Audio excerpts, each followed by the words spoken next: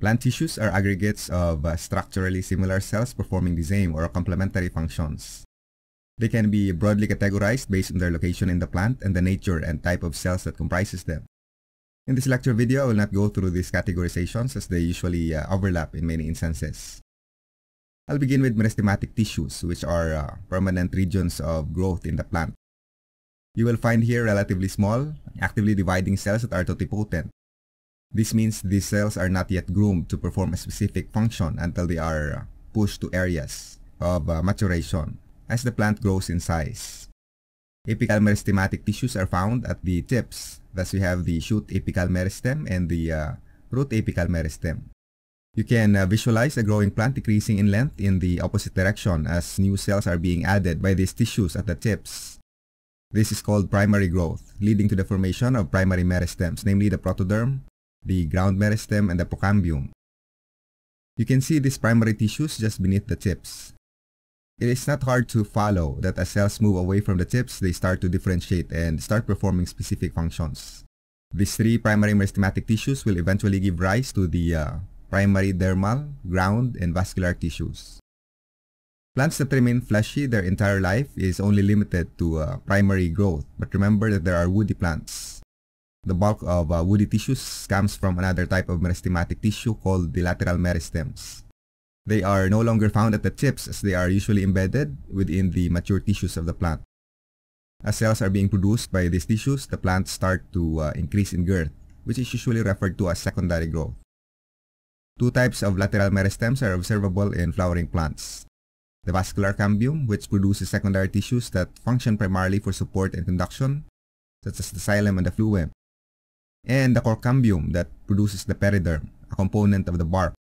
For now, it is enough to learn that woody tissues are a result of secondary growth and supplied by the cells from the lateral meristems. Again, the vascular and the cork cambium. Another type of uh, meristematic tissue called intercalary meristem occurs in grasses. It is located beneath the apical meristems in the vicinity of nodes where you can find the leaves. These tissues add to stem length, thus every time a grass is cut, it will continue regenerating the grass, which is quite annoying to lawn keepers and farmers. To uh, sum it up, meristematic tissues represent a group of uh, unspecialized cells. They give rise to simple tissues with simple functions. Simple tissues are made up of cells that are almost similar in appearance. They are uh, sometimes grouped based on the thickness of their walls. Thin walls of course indicate younger cells, while additional thickenings are apparent as these cells get older. Parenchyma tissue composed of parenchyma cells are the most abundant in flowering plants. They are uh, usually spherical in shape but their thin walls flatten when they are pushed side by side by neighboring cells. They have large vacuoles and store a variety of phytochemicals. Their functions are variable depending on the plant and they can also have uh, alternative names based on these functions. For example, in water lilies and other aquatic plants, the intracellular spaces are prominent. This type of parenchyma tissue with extensive connected air spaces is referred to as aerenchyma. It allows for buoyancy and efficient gas exchange. Parenchyma cells containing numerous chloroplasts on the other hand are referred to as chlorenchyma tissue, which uh, function mainly in photosynthesis. Also, the soft edible parts of fruits and vegetables is consists largely of parenchyma with storage functions. Parenchyma cells can still divide to repair the tissue despite the fact that they are no longer meristematic cells. When uh, cells start to grow an additional cell wall layer, they become more rigid and can start support functions. Here, if you go near the edge, there are cells that have unevenly thickened walls. You will notice the thickenings usually at the corners. These cells comprise the collenchyma tissue. Typically, they are longer than they are wide and their walls are pliable as well as strong and provide flexible support for both growing and mature organs, such as leaves and uh, floral parts. You can bend the plant to a degree that it will not break and when you release it, it goes back to its original position. These plastic and elastic properties of plants can be greatly attributed to collenchyma tissue, as parenchyma are quite weak while uh, sclerenchyma are too hard to provide flexibility. While uh, collenchyma and parenchyma are living tissues, sclerenchyma cells are dead at maturity. They are characterized by very thick walls and they have lost their cytoplasm through time. Their walls are also impregnated with lignin, an organic substance that makes them tough and hard.